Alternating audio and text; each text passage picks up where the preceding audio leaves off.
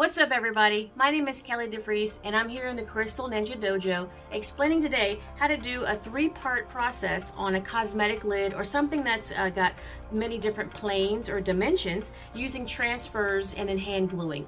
Uh, it's kind of an advanced process but we use it when we do mass production and I think you'll really enjoy it so stay tuned.